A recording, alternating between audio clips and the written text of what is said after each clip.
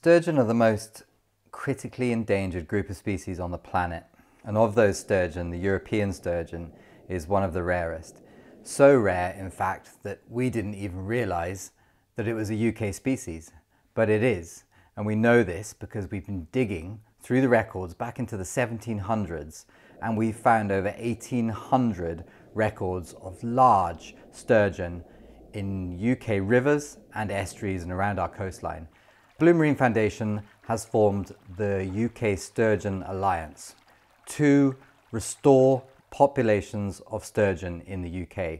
We're working closely with conservation partners in Spain and in France and in Germany who are doing similar projects. And actually, we're seeing fish, tagged fish, from those programs actually coming to explore UK waters to spawn.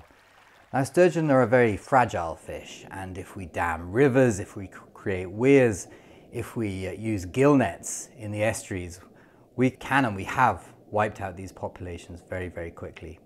So the UK Sturgeon Alliance is building on the foundations created by the Severn Rivers Trust, a project called Unlocking the Severn, which was designed to allow shad to move up the River Severn and spawn. And we think that sturgeon can do the same thing. So the benefits of restoring sturgeon are not just ecological, but they're economic too.